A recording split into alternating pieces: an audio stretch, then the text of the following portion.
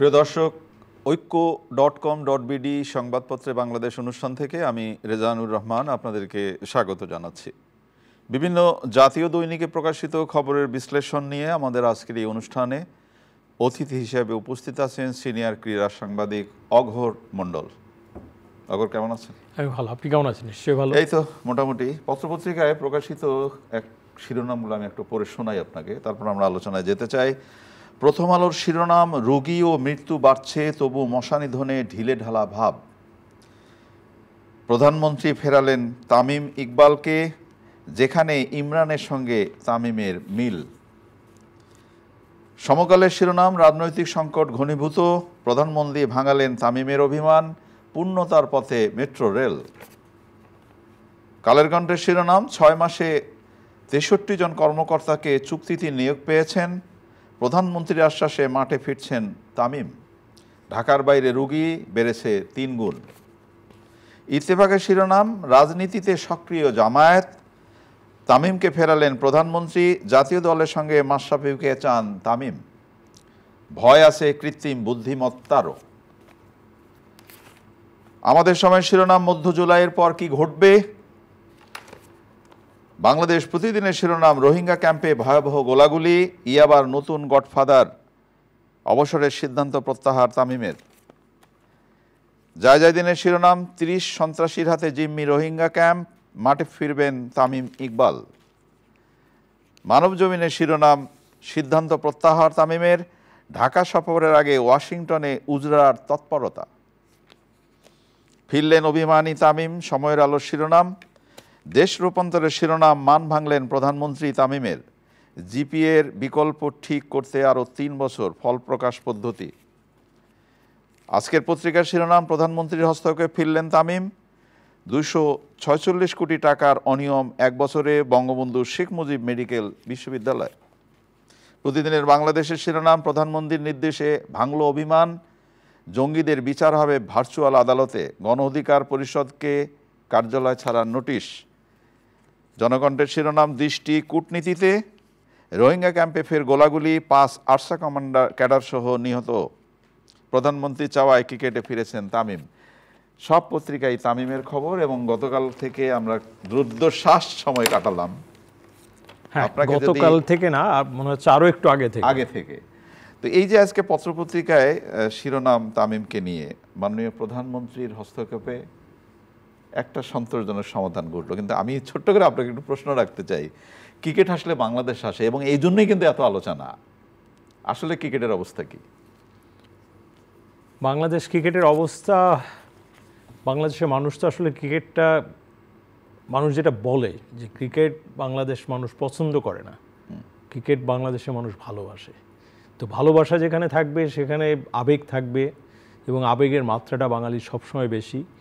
বাংলাদেশে সব কিছু বিচার করা হয় আবেগ দিয়ে। ক্রিকেটটাও তাই। আর ক্রিকেটের ভেতরের খবরটা যদি বলি যে আমরা একটু সাফল্য পেলেই সেটাকে একটু বড় করে মনে করি যে অনেক কিছু পেয়ে গেলাম।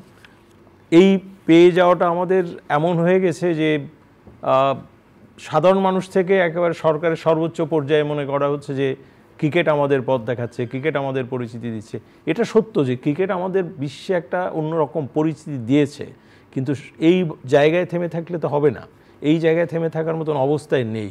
ক্রিকেট প্রশাসন বলে একটা কথা আছে। ক্রিকেট প্রশাসনে পেশাদারিত্বের অভাব থাকলে যা হয়, আমরা সেই চিত্রটা দেখলাম গত কদিনের ঘটনা। গত কদিন বলছি এ কারণে যে আজকে তৃতীয় দিনে আমি যদি ধরে নেই, বা তারও একটু আগে থেকে ধরলে, যেখানে পেশাদারিত্বের অভাব এত বেশি যে মনে হচ্ছে যে সেই একটা অ্যামেচার ভাব কোনো রকমে চলছে, ক্রিকেট কারও সম্পদ তিনি যেভাবে একটু ছিটিয়ে দিচ্ছেন বলছেন যা খুশি তাই বলবেন তেমনভাবে চলবে।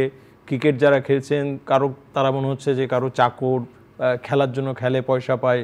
অতএব তাদের সাথে একটা শ্রমজীবী মানুষের সাথে মালিক পক্ষ যেমন ব্যবহার করে ওরকম একটা ব্যবহার করা হচ্ছিল ক্রিকেটারদের সঙ্গে। তাহারই বোধহয় প্রকাশ আচ্ছা অগর আমি আপনাকে যদি একটু সামিয়ে দিই গতকালও আমি এই প্রশ্নটি করেছিলাম।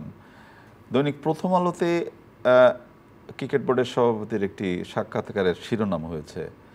আমার প্রশ্নটা যেটা হলো যে, অভিমান আপনি যেটা বললেন, অভিমান থাকতেই পারে, অভিমান হতেই পারে, পরিবারের মধ্যে অভিমান হয়। কিন্তু এমন কিছু কথা আছে যেটা বোধহয় পরিবারের মধ্যে থাকা বাঞ্ছনীয় না, নয় কি? যেটা বললেন, যেমন যদি উনি বলেন যে, ও এখন কাঁদে কেন? আমি আসলে শুধু একটা কথাই বলতে পারি, এই নিয়ে আমি কোনো মন্তব্য করতে আমার ঠিক বিব্রত হই আমি। কারণ একটা দেশের ক্রিকেট বোর্ডের প্রধান যেখানে সেখানে কথা বলবেন, যেভাবে কথা বলবেন, তার শব্দ চয়ন থেকে ভাষা চয়ন, তার স্থানকাল পাত্র, এই বিবেচনাটা খুবই গুরুত্বপূর্ণ। একজন ক্রিকেটার যেমন একটা বল বিবেচনা করে ফ্র্যাকশন অফ সেকেন্ডে কীভাবে তাকে খেলতে হবে, তার থেকে বেশি চিন্তা করে খেলা উচিত বোর্ড প্রেসিডেন্টের কিন্তু উনি দেখছি আমরা গত কবৎসর ধরেই যে উনি গ্যারেজের ভিতর দাঁড়িয়ে মাইক পেলে সেখানে কথা বলছেন, অফিসে কথা বলছেন, তার অফিস কোনটা? ক্রিকেট সম্পর্কের কথা হওয়া উচিত ক্রিকেট বোর্ডে। আমি যেখানে ছিলাম সেখানে ফিরে যাই। পেশাদারিত্বের জায়গা থাকলে বাংলাদেশ ক্রিকেট বোর্ড চলতো নটা পাঁচটা। ক্রিকেট বোর্ডে এক ঝাঁক পেশাদার সেট আছে। তো নটা পাঁচটা অফিস চলবে। বোর্ড প্রেসিডেন্ট রাত দশটার সময় তিনি আমরা একটা জিনিস দেখলাম ওয়েস্টিনে তামিমের ঘটনা নিয়ে, হোটেল ওয়েস্টিনে রাত দশটার সময় একটা মিটিং মিটিং বলব না এই কারণে, কারণ আমি যতটুকু জানি ওই চিঠির ভাষা কোট আনকোটে ছিল president intends to talk to the others member of the cricket board সেটা মিটিং না, তো মিটিং হলে অবশ্যই এজেন্ডা থাকতো ইমার্জেন্সি শব্দটা লেখা থাকতো। তো এই রাত সাড়ে দশটার সময় ওয়েস্টিনে কথা বলতে হবে কেন? যদি পেশাদার বোর্ড হতো তাহলে অবশ্যই ক্রিকেট বোর্ডে পরের দিন কথা সিদ্ধান্ত হতো। যে তামিম এইরকম করলেন, আমরা কি সিদ্ধান্ত নিতে পারি, আমরা মিটিং করব। এটা ইমার্জেন্সি মিটিং ডাকতেই পারতেন। কিন্তু ওই যে ওয়েস্টিনে কথা বলা মিডিয়া দেখলে একটু কেমন যেন উনি হয়ে যান। আর শব্দ চয়নের ক্ষেত্রে সত্যি দুঃখজনক যে একজন ক্রিকেট বোর্ডের সভাপতির কাছ থেকে এরকম কথা একজন যে কোনো ক্রিকেটার না, তামিম বাংলাদেশ দলের অধিনায়ক ওয়ানডে অধিনায়ক সিনিয়র ক্রিকেটার ষোলো বৎসর একটা দেশকে সার্ভিস দিচ্ছেন এবং ওই লেভেলে সার্ভিস দিচ্ছেন। তামিম শুধু বাংলাদেশের সম্পদ আমি বলব না, বর্তমান ক্রিকেট বিশ্বে যারা খেলছেন তাদের ভিতর অন্যতম সেরা ব্যাটার তিনি। সেরকম একজন ক্রিকেটের সম্পর্কে ওই ভাষায় কথা বলা যায় না। কেউ বলতে পারেন একজন সাধারণ দর্শকও বোধহয় বলবে না ওই ভাষায়। তিনি কাঁদবেন না কেন? তিনি কাঁদলেন কেন? প্রশ্নটা যদি উল্টে কেউ করে যে বোর্ডের ভিতরে এমন কি হলো যে তামিমকে কাঁদতে হলো কেন?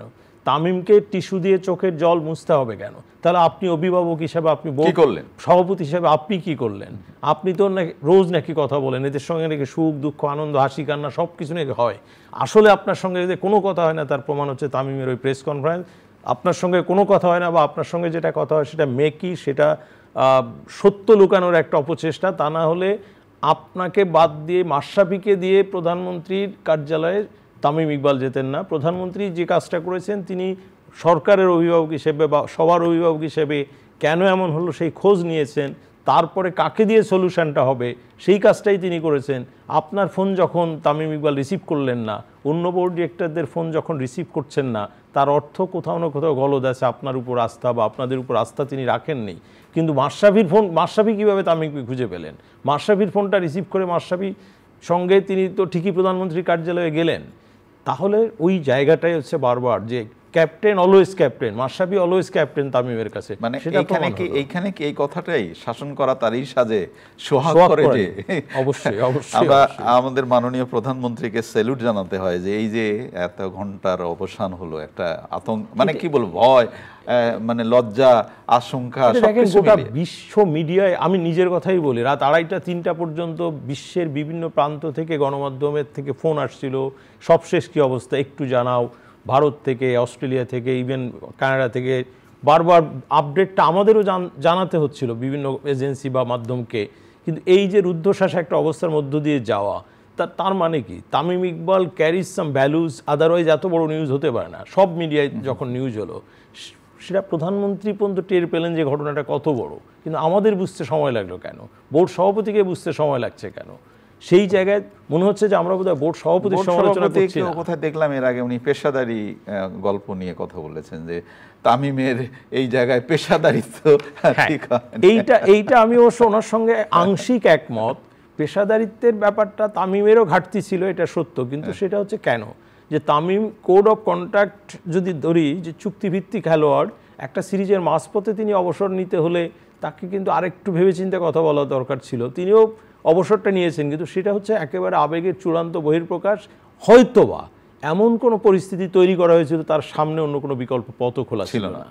এইটা আমি তামিমের ক্ষেত্রে একটা কথা বলব যে তিনিও পুরাটা সত্য বলেছেন তা না তিনিও কিছু সত্য লুকানোর চেষ্টা করেছিলেন। উনি যে বলেছিলেন যে আমি অনেক আলোচনা টোনা করে দীর্ঘ সময় নিয়ে আমি সিদ্ধান্ত নিয়েছি আসলে তা না।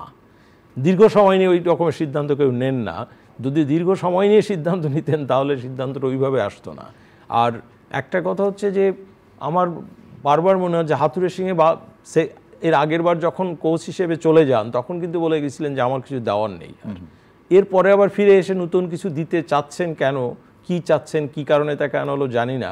তবে উনি আসলেই কেন যেন দলের ভিতর একটা ওই যে সিনিয়রদের তাড়াও যুবনীতির প্রচলন ঘটাও মানে তারুণ্যকে প্রাধান্য দিতে যে অভিজ্ঞদের উপর একটা অবজ্ঞা, তাচ্ছিল্য এরকম একটা ভাব আছে। আপনি একটা উদাহরণ দিই এই কোচ, কোচিং স্টাফের ভিতর। যারা রিয়েল কাজ করে, তারা নীরবে কাজ করে যায়। আপনি তার প্রতিফলনটা দেখেন। অ্যালেন ডোনাল্ড নামে হাতুরানি সিংয়ের থেকে অন্তত দশ গুণ বড় ক্রিকেটার, বড় স্টার, বড় তারকা এবং বড় দেশের তারকা বলতে হবে। অ্যালেন ডোনাল্ড বাংলাদেশ টিমের পেস বোলিং কোচ। তিনি নীরবে কাজ করে যাচ্ছেন এবং বাংলাদেশ সব থেকে দুর্বল জায়গায় ছিল পেস বোলিং। আজকে বাংলাদেশের পেস বোলিং অ্যাটাকটা একটা দুর্দান্ত ইউনিটে পরিণত করে দিয়ে গেলেন তিনি। কই, তিনি তো প্রেসের মুখোমুখি হন না।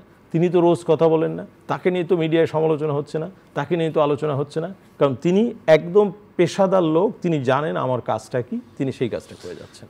আমরা স্পষ্ট করে একটা কথা বলতে চাই। ক্রিকেট হাসলে বাংলাদেশ হাসে এবং ক্রিকেটের পরিবারের মধ্যে আমরা কোনো অস্থিরতা দেখতে চাই না।